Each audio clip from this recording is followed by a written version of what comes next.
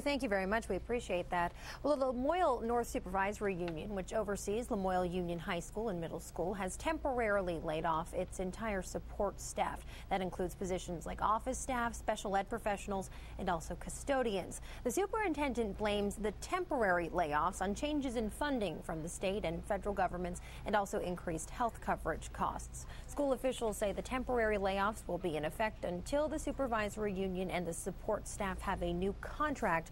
The current contract is up, and according to the superintendent, negotiations are at an impasse.